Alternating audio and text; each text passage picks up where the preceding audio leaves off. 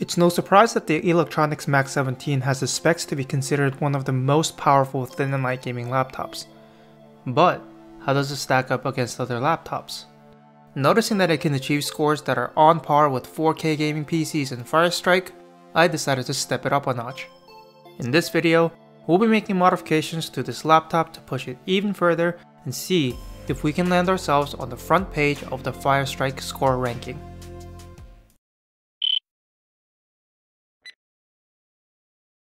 We obviously can't compete against these monstrosities.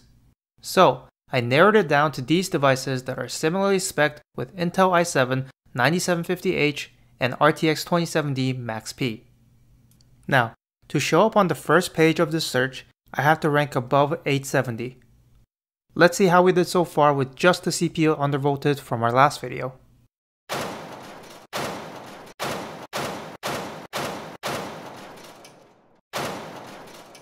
That's it for this video. Hit that like button and okay, okay. So apparently, I've already ranked above 870 even before I started making this video. I managed to score 17,646 coming in at 511th place with the CPU undervolted at negative 125 millivolts. But why stop here? This is an excellent starting place for the Max 17, so let's see how we can do better. The first thing I'll try to do is apply a better thermal paste to gain more thermal clearance for overclocking. But before I got started, I emailed Eluktronics asking if repasting the thermal compound would void my warranty. The answer was unfortunately a yes. So, I decided to do it anyway. To get the baseline temperature, I ran Monster Hunter World yet again as it appeared to be the most demanding title I own. The CPU sat pretty toasty around 95 degrees and the GPU sat around 84 degrees. Note that the CPU was already undervolted as I have done in my previous video. The Thermal Grizzly Kryonaut is considered one of the best non-conductive thermal grease out there.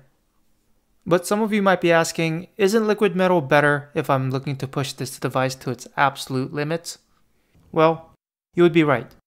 But because liquid metal is electrically conductive, it is riskier, so I opted to go with the non-conductive thermal paste that people are far more comfortable with. That, and I'm one of those weirdos that will be bothered by a discoloration in areas that I would never see. Now, reapplying the thermal paste is pretty straightforward.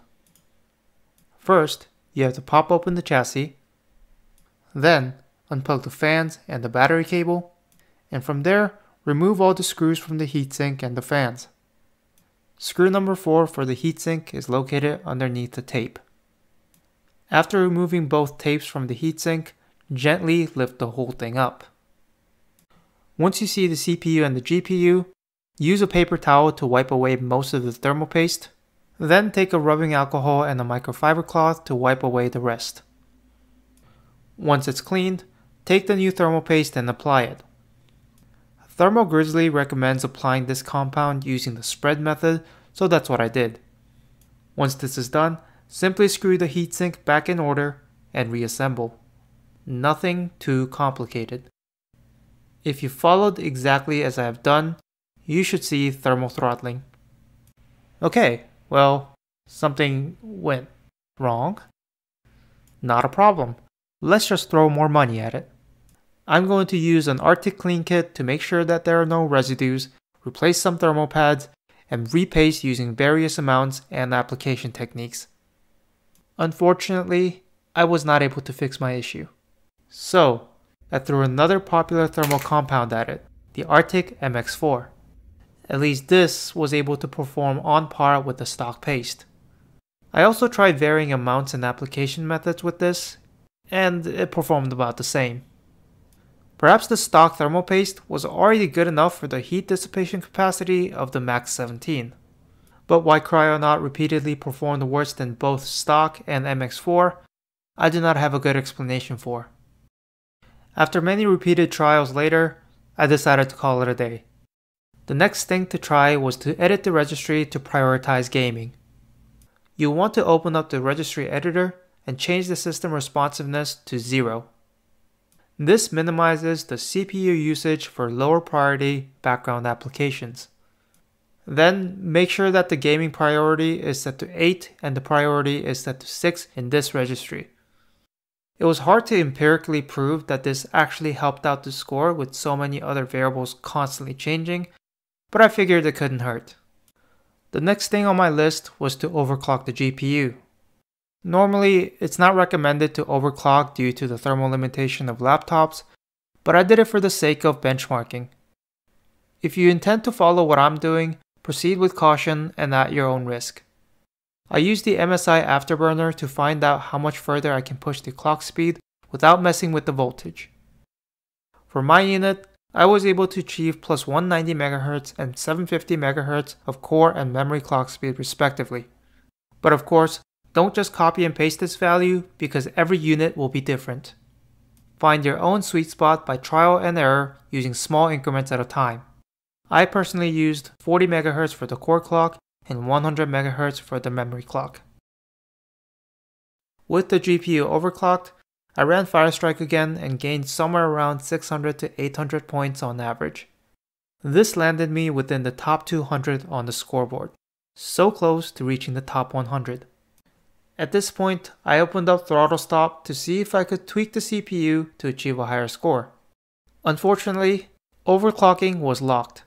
However, I noticed that when I saved the settings from this program, the CPU didn't try to maintain 3988 MHz clock speed and kept the device a bit cooler.